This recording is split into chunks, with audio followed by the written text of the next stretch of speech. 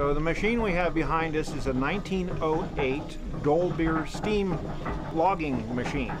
And its purpose was to pull logs through the forest so that they would eventually be transported to the sawmill.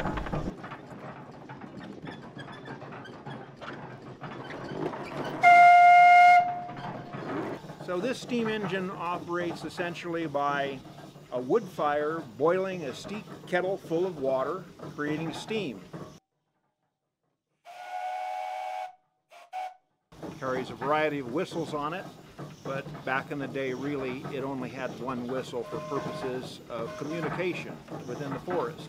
If there was a need for communication over the side of a hill, they would have what's called a whistle punk, a small boy was had a wire that was attached to the whistle and he would watch the logging operation below and then pull the whistle at the right time so that the steam engineer could engage the machinery and pull the log up from an area where the engineer couldn't uh, exactly see it.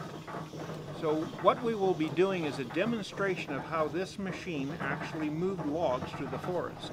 Essentially the loggers would drop the trees and this machine would roll the logs into two-pole chutes, which is basically a road through the woods. They would drag these logs through the woods, eventually dumping them into Shaver Lake. So the machine we have behind us is a 1908 Dolbeer steam logging machine. And its purpose was to pull logs through the forest so that they would eventually be transported to the sawmill. And at the sawmill it would be cut into boards and then floated down the flume, 42 miles long, and it would reach Clovis six and a half hours later. So at the turn of the century, this was the latest and greatest technology. And so for 108 years old, it's a pretty fascinating machine.